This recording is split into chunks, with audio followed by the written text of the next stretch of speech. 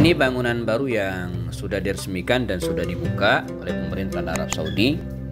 Selain eh, cakupannya sangat luas, ya, bahkan dikabarkan bisa menampung ya hampir eh, 3 juta jamaah. Meniti jalan orang-orang mulia bersama para sahabat Rasulullah SAW kita nikmati keindahan Islam.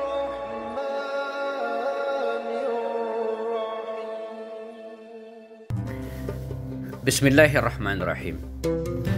Uh, kalau kita berangkat ke tanah suci dan mendatangi Masjidil Haram, maka kita akan uh, menemui uh, fenomena baru beberapa tahun terakhir, uh, yaitu adanya uh, al-mabna al-jadid, jadi bangunan baru yang masuk melalui pintu uh, Gate Abdullah ya, atau Babu Abdullah King Abdullah.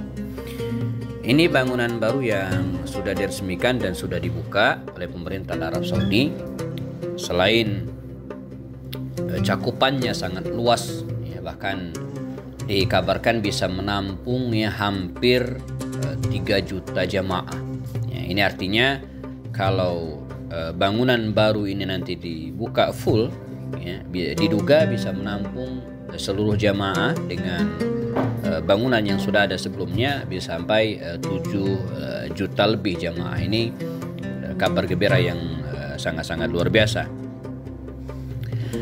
Bangunan baru ini belum sepenuhnya selesai ya, tapi sudah mulai dibuka khususnya pada hari-hari tertentu misalnya di hari Jumat ya di mana jamaah membludak luar biasa dan nyaris tidak bisa ditampung di masjid utama maka mereka sudah mulai dialihkan untuk sholat di al-mabna al-jadid atau bangunan e, baru ini ya. Nah, bangunan baru ini terletak di bagian kiri ya kalau kita masuk ya dari Masjidil Haram. E, utamanya bagi mereka yang tinggal di hotel yang sebelah kiri misalnya hotel Anjum ya, maka kalau pengen sholat di Masjidil Haram akan sangat dekat ya melalui area Gate Abdullah ini ya kawasan baru ini ya.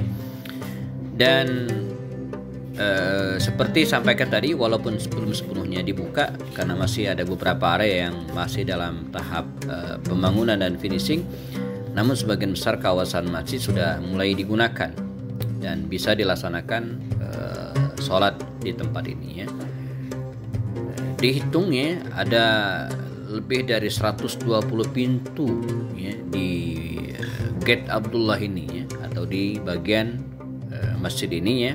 Jadi begitu kita masuk ke dalam maka suasananya akan sangat-sangat uh, sejuk terasa ya.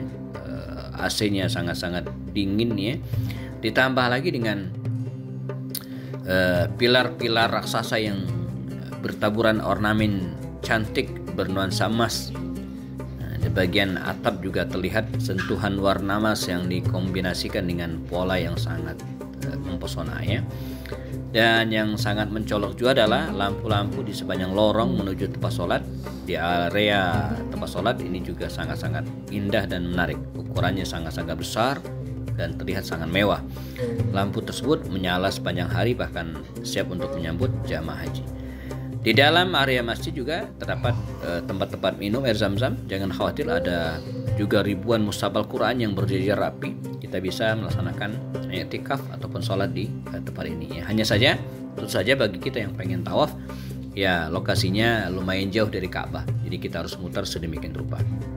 Ini kabar gembira bagi jamaah sekalian yang akan berangkat haji atau berangkat umroh. Jangan khawatir ya uh, Al Masjidil Haram akan menampung kita insya Allah dan uh, ini juga harapan kita bagi yang sudah mendaftar jamaah haji untuk berangkat ke tanah suci dan menunggu antrian saya ber, berpuluh tahun uh, besar kemungkinan seiring dengan selesainya pembangunan baru masjid ini ya nanti uh, kemungkinan akan bertambah kuota atau kuota untuk jam Indonesia akan bertambah sehingga antrian jamaah haji untuk berangkat ke tanah suci akan semakin pendek. Ini harapan kita bersama.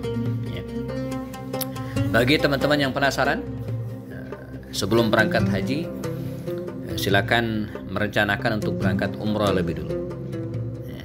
Kalau mau umroh bersama kami, silakan cek nomor handphone dan kontak di deskripsi.